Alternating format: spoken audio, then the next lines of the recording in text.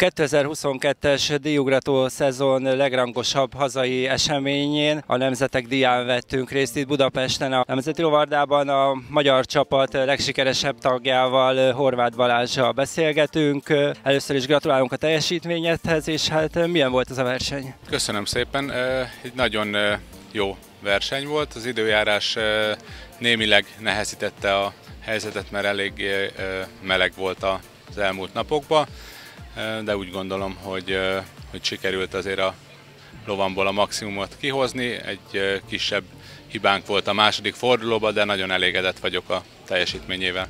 Igen, kettő fordulót kell teljesítenetek. Milyen volt a pálya nehézsége? Mekkora feladat elé állított benneteket a pályaépítő?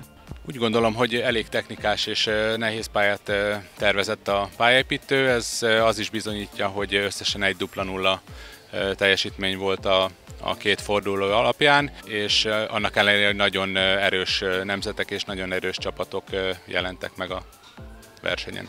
Voltak elvárások a versenyt megelőzően? Mik voltak a célok? Igen, ez a Nemzetek Díjának a sorozatnak a középdöntője volt. A terv az volt, hogy az első öt csapat között kell végeznünk, akkor jutunk tovább a, a döntőre.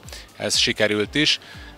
Ennek ellenére szerettünk volna minél jobb helyezést elérni, és főleg, hogy hazai közönség előtt szerettünk volna akár nyerni is. De csak nüanszokon volt, ha jól láttam, ez az eredmény elérése akár. Igen, több apró hiba csúszott be a, a pályák során, amit úgy gondolom, hogy a jövőben, hogyha ebből táplálkozunk, akkor ezeket ki tudjuk javítani. Az idei évtől elindult a Magyar Lovasport Szövetségnek egy új lovas programja, aminek te is a részese vagy, egy kicsit felfordult az életed, ha jól tudom, beszéljünk erről egy picit.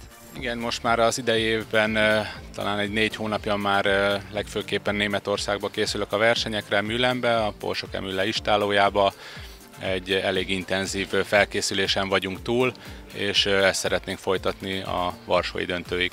Tehát a Varsói döntőre készültök legközelebb, addig lesz még verseny, hogyan készültök rá? Addig még biztos, hogy felkészülő versenyek lesznek, még ezután fogunk tervet készíteni a, a felkészülésre, ugye ez volt egy állomás, hogy ezt szerettük volna meglépni, és ezután egy tervet készítünk majd valószínű jövő héten a a Varsói döntőre való felkészülésre.